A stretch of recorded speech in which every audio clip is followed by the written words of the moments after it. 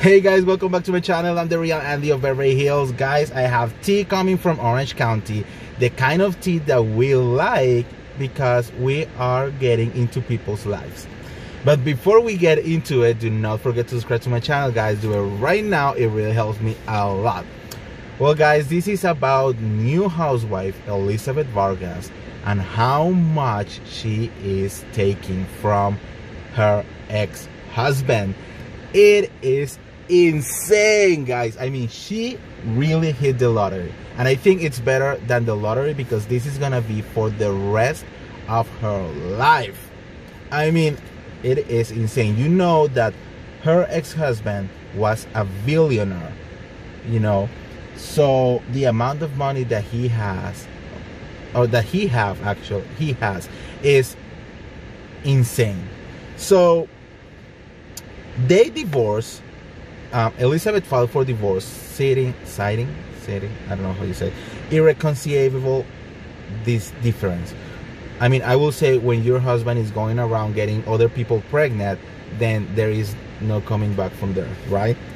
So, uh, yeah, so she filed for divorce, right? After that, well, the court has said that he needs to pay her an alim alimony alimony alimony I don't know that word of thirty-one thousand dollars a month till the day some one of them die or if she remarriage bitch I don't think she's gonna marry ever again honestly. I mean I wouldn't.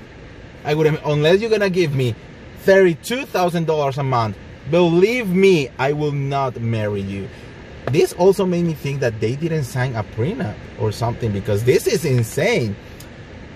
Look, guys, at the moment that they married, she was bringing $1,700 a month.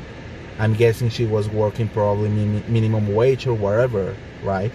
He was bringing $86,000 a month I mean, if that's not the dream, I don't know. Like $86,000 a month? WTF, honestly. And so basically, from the alimony, he has to pay Elizabeth the mortgage of her house, which is a $5 million house, so it's around like $11,000 a month.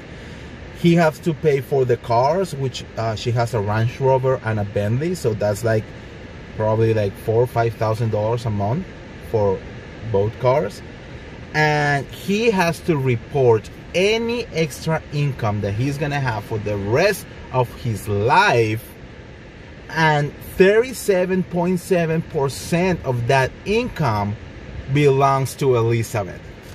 This girl is my hero. I mean, she did it so good. Just like her um, tagline said, uh, I I'm doing money. Uh, how, how is? I'm doing money the new way, marrying into it, and then making some more, something like that. I mean, honestly, this is a queen move. Like if you, if you, if you married a billionaire and he is not signing a prenup, bitch, you are done done for life. Like no matter what happened you're gonna be done. I mean wow. Wow. Honestly the only thing that i have to say is that i am very happy for elizabeth. Because if his cheating ass was going around getting other people pregnant and sleeping with i don't know how many people around right? Well then elizabeth deserved every single penny that is going on right here guys. Honestly. That's the quick tip that i have for you